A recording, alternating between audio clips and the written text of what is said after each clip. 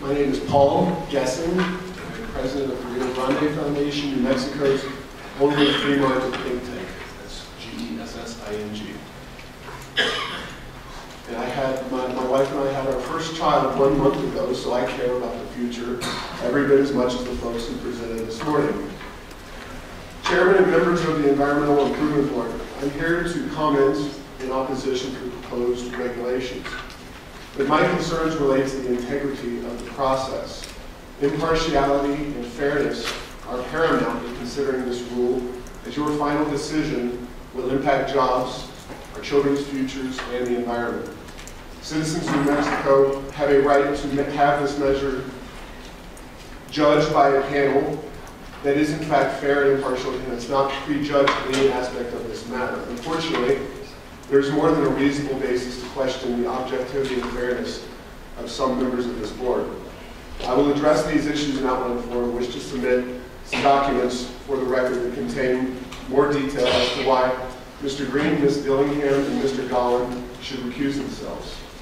The first concern is the question, is reason to question the par- partiality of Board Chair Mr. Green. Four of the parties in this matter have hired Mr. Green as their lobbyist through the Coalition for Green Affordable Energy. The Coalition for Green Affordable Energy has received over $100,000 from New New Energy Economy, the lead petition in this case. Mr. Green is the public New Mexico spokesman for the Pew Environmental Group and has publicly advocated their view that mankind is causing global warming and emissions caps will have a beneficial impact on New Mexico's economy.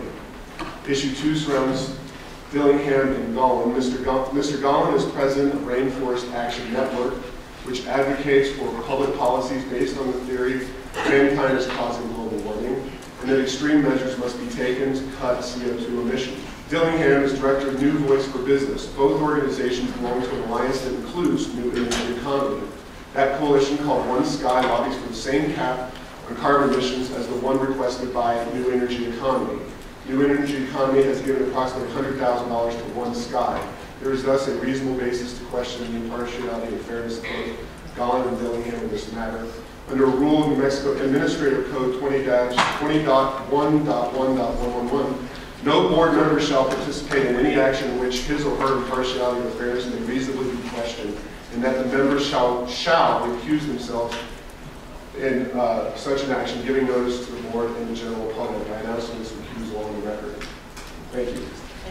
Thank you.